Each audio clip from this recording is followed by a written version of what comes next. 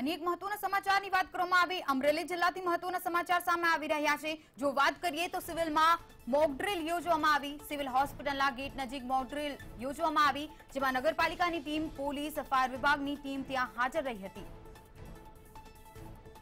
અમરેલીની વાત કરી રહ્યા છે. સિવિલ હોસ્પિટલના ગેટની નજીક મોકડ્રીલ યોજવામાં આવી. નગરપાલિકાની ટીમ સાથે પોલીસ અને ફાયર વિભાગની ટીમ પણ ત્યાં હાજર જોવા મળી.